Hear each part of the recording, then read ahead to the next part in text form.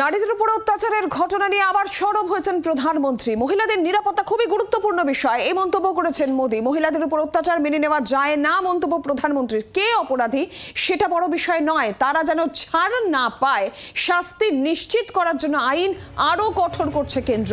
কোনো রাজ্যের নাম উল্লেখ না করলেও তাৎপর্যপূর্ণ এই মন্তব্য প্রধানমন্ত্রী করেছেন। আর আমরা এই বিষয় নিয়ে আরও বিস্তারিতভাবে জানব। সব্যসাচী চক্রবর্তী টেলিফোন লাইনে রয়েছেন প্রতিনিধি। সব্যসাচী, প্রধানমন্ত্রী কি বলেছেন এই বিষয় নিয়ে? দেখো, আগে প্রধানমন্ত্রী নরেন্দ্র মোদী তিনি মহারাষ্ট্রের জলগাঁওতে লাখপতি দিদি সম্মেলন ছিল। সেখানেই তিনি বলেন, মহিলা নিরাপত্তা নিয়ে। এবং সেখানে তিনি বলেন, মহিলাদের সঙ্গে যারা এই ধরনের অন্যায় করেন, তাদের একেবারে রেয়াত করা হবে না এবং নির্দিষ্টভাবে একাংশ বলছেন, এটা কি আর্জিকর নিয়ে? নরেন্দ্র মোদীর কোনো বার্তা? কারণ তিনি নির্দিষ্টভাবে প্রত্যেকটা রাজ্যকে বার্তা দিয়েছেন এবং তিনি বলেছেন, রাজনৈতিক দল আসবে, যাবে, কিন্তু মহিলাদের সম্মান রক্ষাটা বড় বিষয়। এবং তিনি এটাও বলেছেন, হাসপাতাল হোক, পুলিশ হোক বা স্কুল, কলেজ হোক কোনো জায়গাতেই যাতে মহিলাদের সম্মানহানি না হয়, সেই বিষয়টা দেখতে হবে এবং মহিলাদের উপর অত্যাচার কোনোভাবেই মেনে নেওয়া যাবে না। এবং প্রত্যেকটা রাজ্য সরকারকে তিনি আলাদাভাবে বলেছেন, কে অপরাধী সেটা বড় বিষয় নয়, তারা যেন ছাড় না পায় এবং তাদের যারা সাহায্য করে, তাদের যারা আড়াল করার চেষ্টা করে তাদেরও শাস্তি হওয়া উচিত বলে তিনি মনে করেন।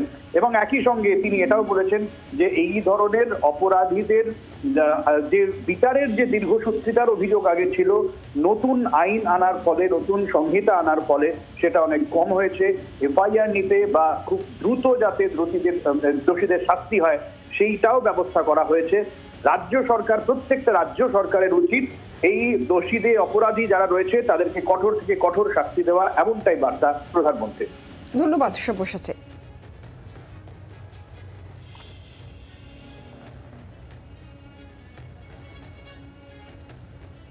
साथियों माताओं बहनों बेटियों का सामर्थ्य बढ़ाने के साथ साथ उनकी सुरक्षा भी देश की प्राथमिकता है। आज देश का कोई भी राज्य हो, अपनी बहनों बेटियों की पीड़ा को, उनके गुस्से को, मैं समझ रहा हूँ। मैं एक बार फिर देश के हर राजनीतिक दल से कहूँगा, हर राज्य सरकार से कहूँगा कि महिलाओं के खिलाफ अपराध अक्षम्य पाप है। दोषी कोई भी हो, वो बचना नहीं चाहिए।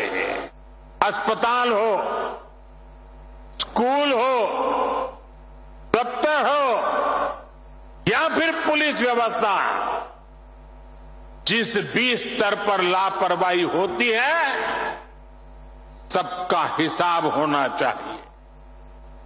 ये पाप अक्षम्य है। अरे सरकारें आती रहेगी, जाती रहेगी। लेकिन जीवन की रक्षा और नारी गरिमा की रक्षा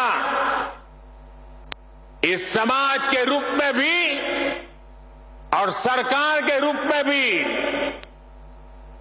हम सबका बड़ा दायित्व है।